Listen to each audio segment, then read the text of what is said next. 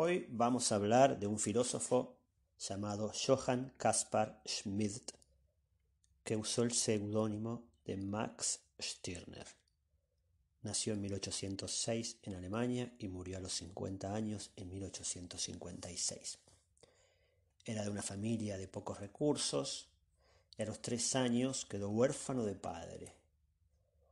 A los seis años, cuando él tiene seis años, su madre se casa y se va y él, que era hijo único, queda al cuidado de otros familiares.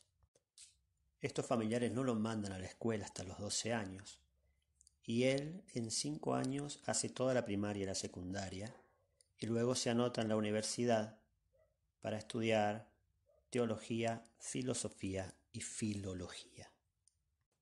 Allí conoce un grupo de jóvenes que seguían a Hegel, jóvenes hegelianos, y comparte varias ideas con ellos, pero después hay otros criterios que no le cierran, sobre todo el tema de la moral y la ética. A los 28 años se enamora y se casa, pero su mujer va a morir en breve, en el parto, un año después, junto con su hijo que también muere. Luego se reencuentra con su madre, vive con ella dos años, hasta que la madre fallece. Más adelante se vuelve a casar, tiene un, matrimonio experimental en donde ambos podían tener otras relaciones y después de cuatro años se separa. Trabaja en una escuela para señoritas, detesta ese trabajo, pero lo hace por dinero. Em, tenía problemas de rentas, deudas, estuvo preso incluso por deudas, a pesar de que había escrito un libro cuya primera edición se agotó rápidamente. ¿Por qué se agotó este libro en realidad? No fue que fue comprado por el público de manera masiva, sino porque el Estado alemán lo consideró peligroso y compró todos los libros para que el público no tuviera acceso. Y esto es muy interesante, porque este es el año 1848, el mismo año que se publica El Capital de Marx. Y lo interesante es que el Estado no consideró peligroso el libro de Marx, que años después iba a inspirar a millones de personas hacia lo que sería la revolución socialista y comunista, y sí consideró peligroso lo que decía el libro de Max Stirner. Otra curiosidad es que Marx y Engels le dedicaron más tinta que a ningún otro filósofo, es decir, discutían sobre él, lo criticaban e incluso se burlaban. ¿Qué decía este libro de Max Stirner? Este libro incluso fue considerado por Rudolf Steiner como la otra mitad y complemento de su, filosofía de la libertad.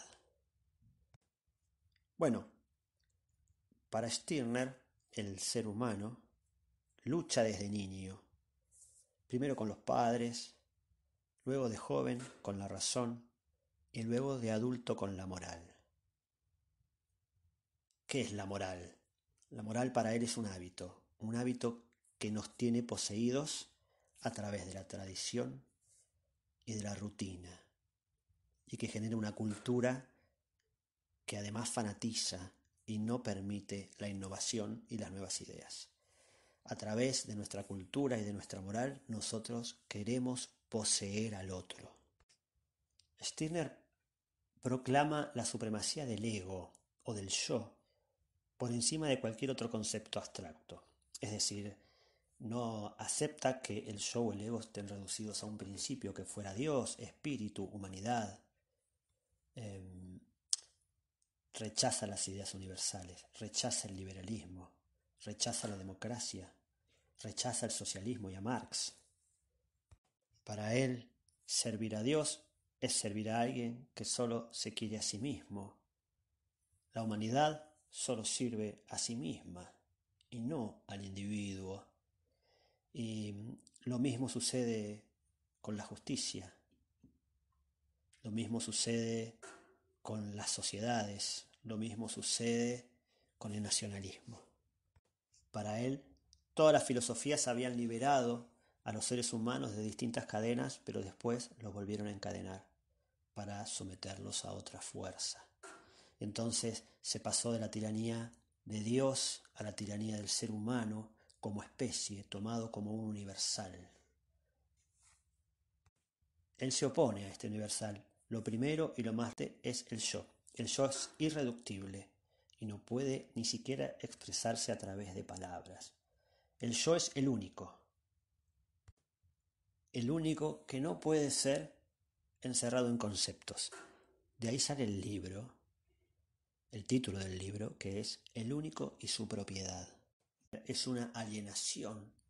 Cualquier situación en que el individuo está sometido a fuerzas, a fuerzas externas a éste, privándolo de ser dueño de sí mismo. En algún pasaje de su libro dice, se dice de Dios, los nombres no te nombran. Esto es igualmente justo para mí. Ningún concepto me expresa. Nada de lo que se considera como mi esencia me agota. No son más que nombres. De Dios se dice, además, que es perfecto y que no tiene ninguna vocación, que no tiene que tender hacia la perfección. También esto es cierto para mí. Yo soy el propietario de mi poder.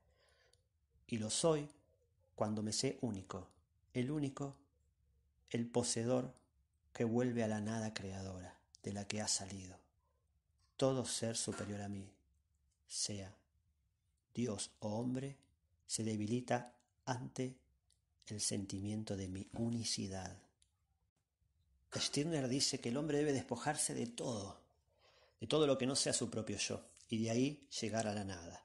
Y desde esa nada, esa nada que él llama la nada creadora, saldrá lo que ese individuo es. A partir de ahí se va a poder manifestar la libertad. También escribió un pequeño ensayo que se llama El falso principio de nuestra educación, donde critica a las escuelas tradicionales, que en lugar de liberar a los individuos de los prejuicios que los encadenan, se limitan a reemplazar el servilismo ante la autoridad familiar por el servilismo ante el Estado. En el único y la propiedad pone en evidencia que en realidad aquello que acostumbramos a llamar derecho en el Estado es idéntico a aquello que llamamos crimen en los individuos. Miren qué pensamiento tan radical tenía. Ahora podemos entender por qué el Estado alemán compró todos sus libros, llevándolo a la quiebra económica. ¿Cuál es la propiedad del único entonces? Por lo cual el libro se llama así. Él dice, yo soy mi única propiedad, yo soy mi propio juez. Y entonces aquí podríamos decir, ah bueno, pero si vos sos tu propio juez, puedes hacer lo que querés. Pero ella pensó esa respuesta en su libro y dice que el derecho de todos debe tener preferencia sobre mi derecho. Ese derecho también debería ser mi derecho.